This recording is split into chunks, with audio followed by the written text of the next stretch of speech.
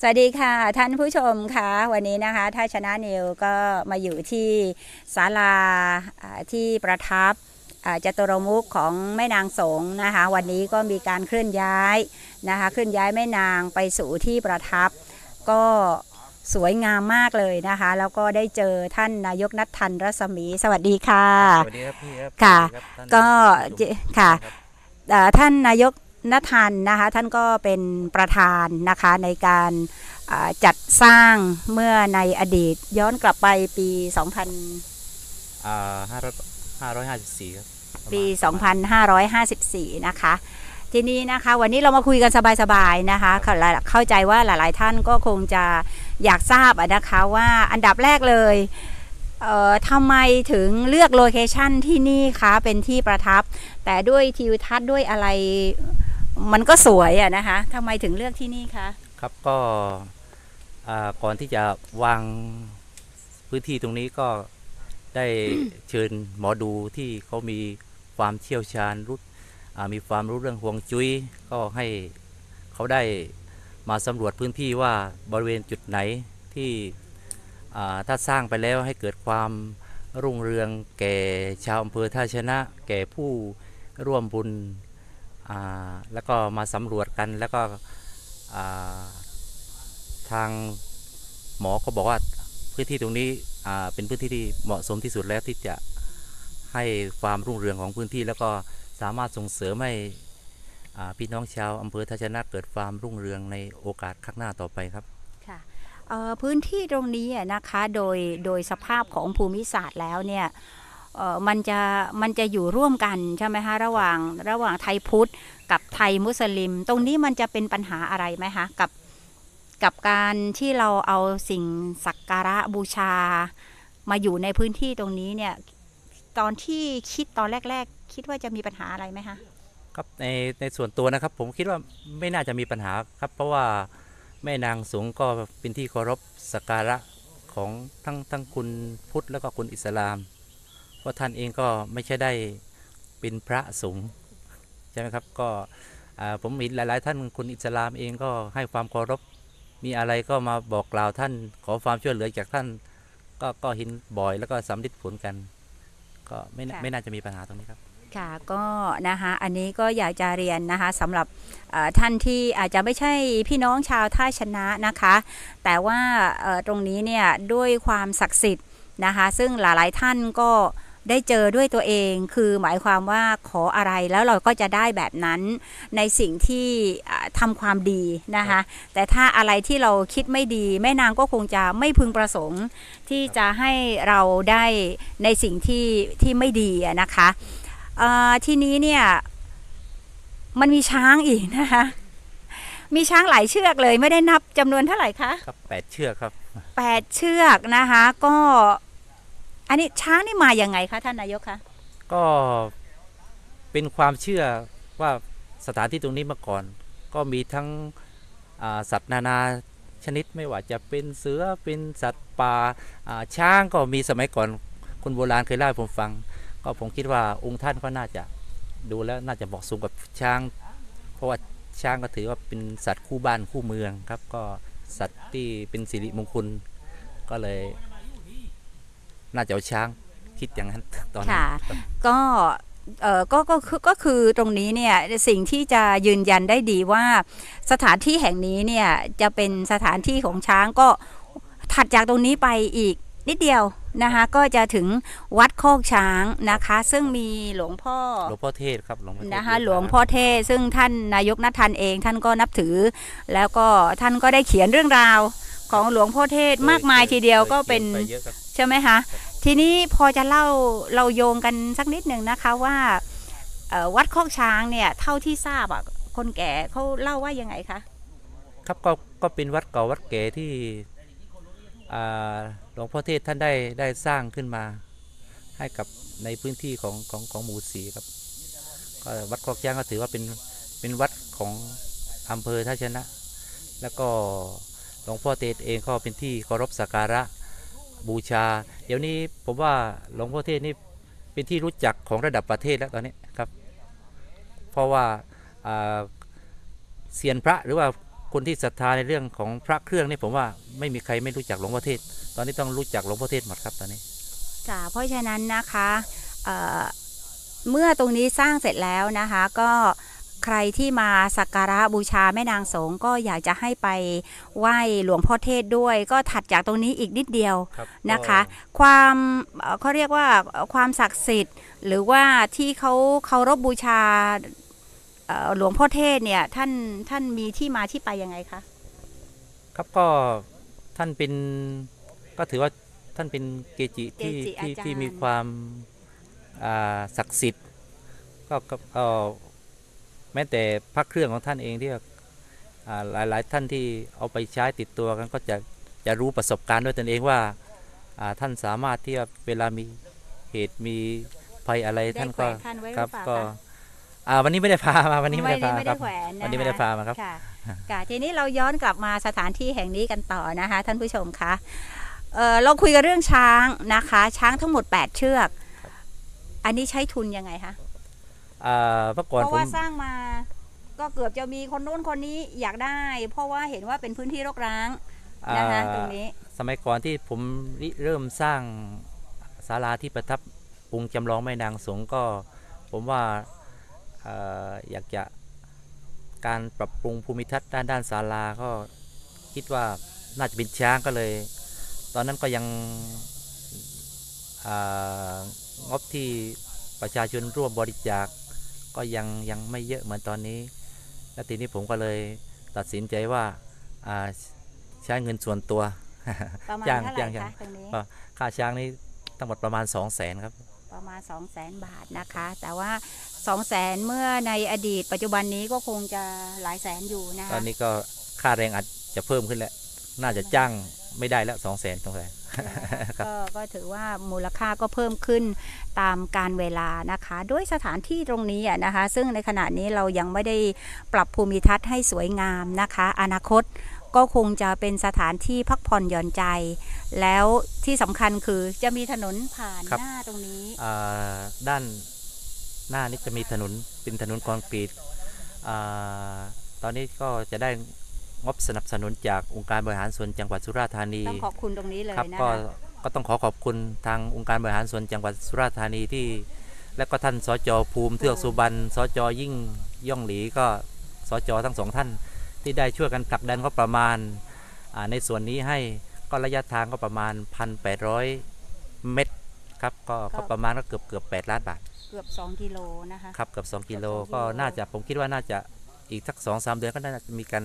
มีการเริ่มอ่าเริ่มปรับลงมือตรวจสอบราคานะคะตอนนี้ยังไม่ยังไม่ได้ไปสอบราคาอ๋อยังไม่ได้สอบราคาครับค่ะ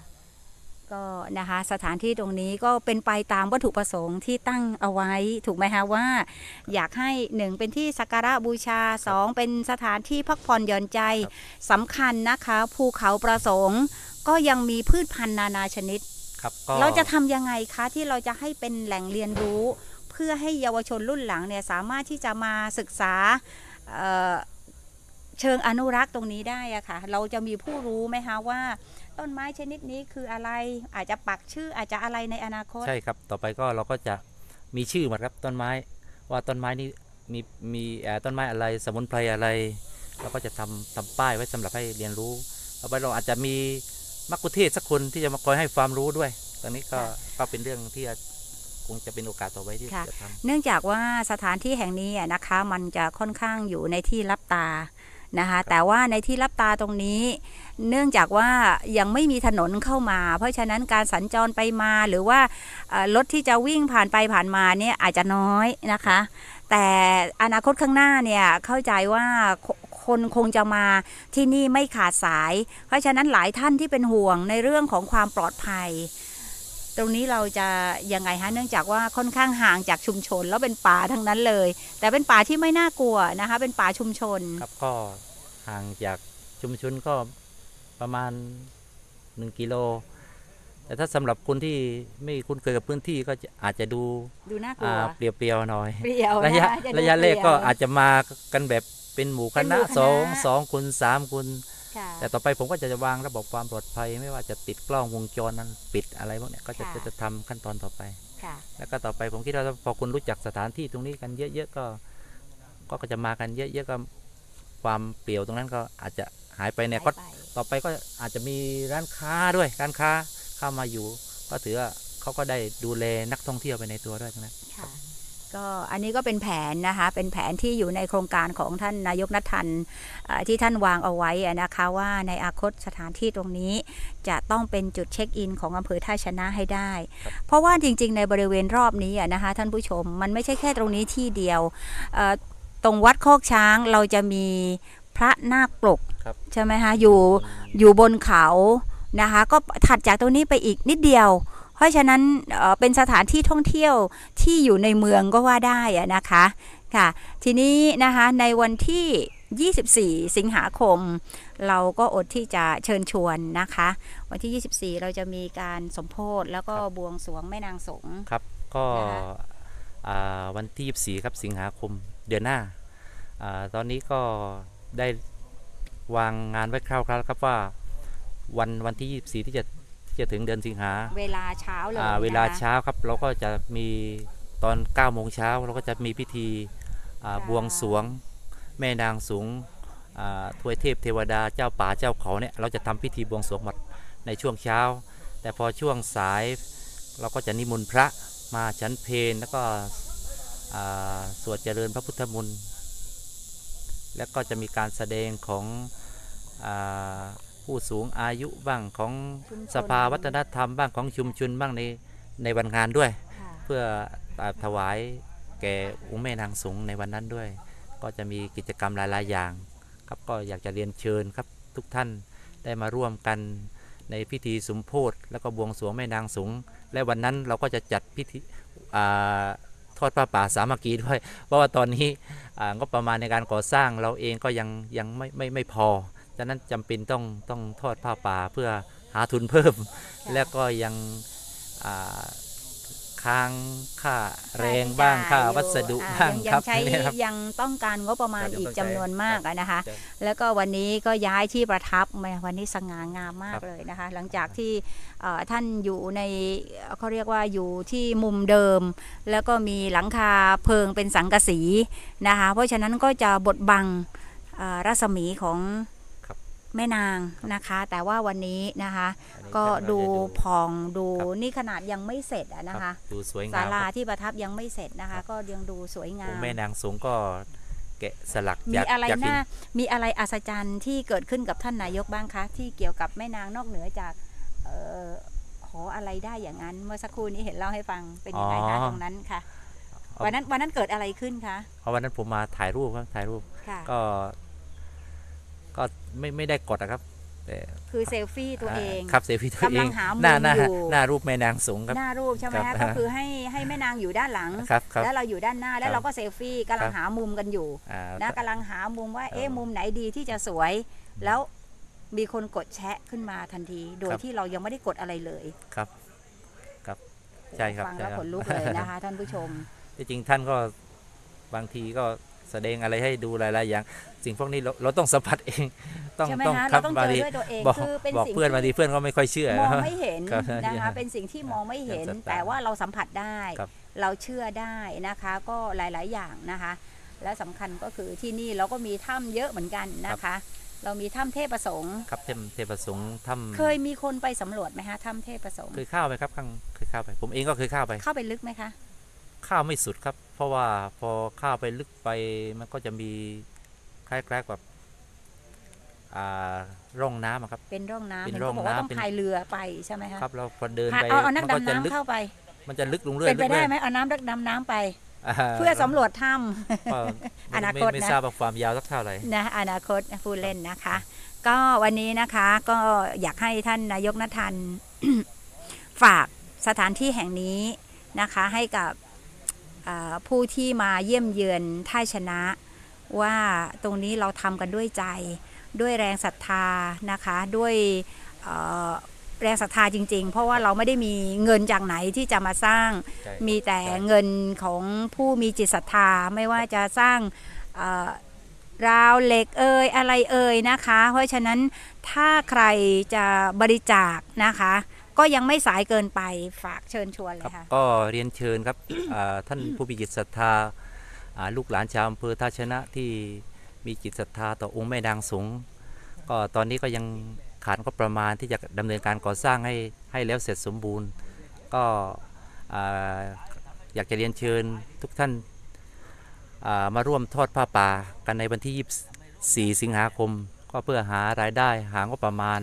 เพื่อดำเนินการในส่วนนี้ ให้แล้วเสร็จแล้วก็เป็นสถานที่ไว้สำหรับพ่อแม่พี่น้องได้ยึดเหนี่ยวจิตใจ มีทุกมีปัญหาก็